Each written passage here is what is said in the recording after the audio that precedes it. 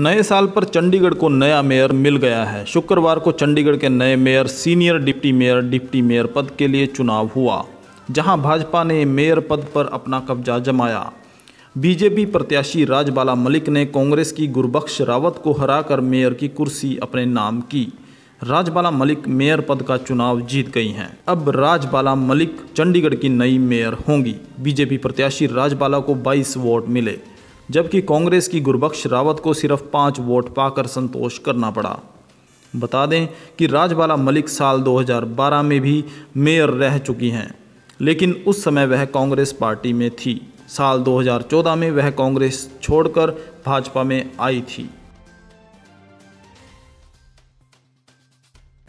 उनके यकीन है कि मैं अच्छा काम करूँगी और मैं अच्छा काम भी करूँगी और शहर के लिए करूँगी और अपने लिए करूँगी कि मेरी दिल इच्छा है कि भगवान ने मेरे को दोबारा मौका दिया तो मैं शहर के लिए कुछ अच्छा कर मैम क्या कुछ मेन फोकस किस पे रहेगा? किन कार्यों पे? सारे डेवलपमेंट के काम। चाहे वो पानी से हो चाहे सफ़ाई से हो।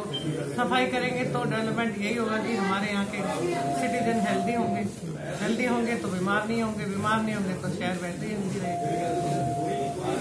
कहीं ना कहीं मैम फंड की कमी जो हर बार ऐसे कोई हमारे पास कोई फंड की कमी नहीं है। हमारे इतने कलेक्शन है इकट्ठे होने कि हमें कोई वित्तीय संकट नहीं आएगा। ये मेरा वादा आप लोगों से। बाकी ये है कि सब लोगों के साथ मिलके आप भी लोग साथ देंगे। आप तो हमारे बैकअप करने वाले हैं। और जब इंडिया की टीम को जिताते हैं चंडीगढ़ को जिताइएगा।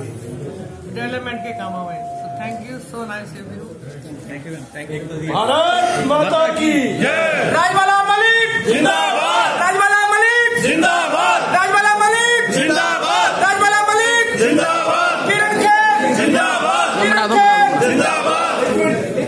मैडम जी हम लोग वेट कर रहे थे। ताज़ा अपडेट्स के लिए अर्थ प्रकाश टीवी को सब्सक्राइब करें और बेल आइकन को प्रेस करें।